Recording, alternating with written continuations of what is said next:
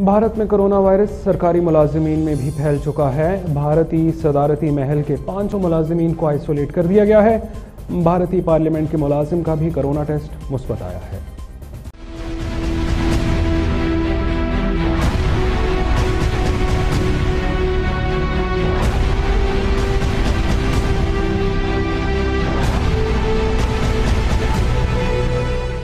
Corona virus Bharat के सदारती महल तक जा पहुँचा है, जिसके बायस अमले के 114 अपार्टमेंट्स को सील कर दिया गया है और 500 अफराद आइसोलेशन में जा चुके हैं। गैर मुल्की खबर एजेंसी रॉयटर्स के मुताबिक भारतीय सदर रामनाथ की नई दिल्ली की रिहाइश गाह में कोरोना से मुतलिक तशवीश उस वक्त बढ़ गई, जब स्टाफ क्वार्टर्स में मुकीम सफ़ाई के अमले के एक रुकन की बाहू में कोरोना वायरस की तस्दीक हो गई।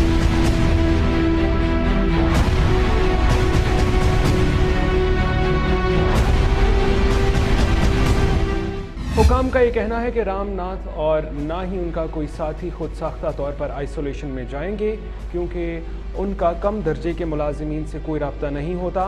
ताहम सदारती महल के अमले के 114 अपार्टमेंट्स में मुकीम खानदानों को घरों में रहने का हुक्म दिया गया है, जबकि सफ़ाई के अमले के रुकन के खानदान के सात अफराद को करंतना मुंतकिल कर दिया गया है।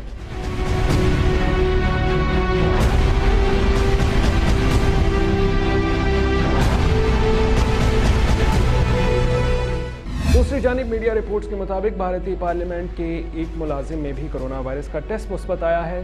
ताहम वो काम पर नहीं आ रहे। भारतीय पार्लियामेंट के इंतजामी विंग को पीर के रोज दोबारा खोल दिया गया है। कोरोना का फैलाव रोकने के लिए भारत भर में लॉकडाउन किया गया है, जो कि तीन मई तक जारी रहेगा, जिसके बायस इसकी एक अरब तीस करोड़ की आबादी घरों तक महदूद है।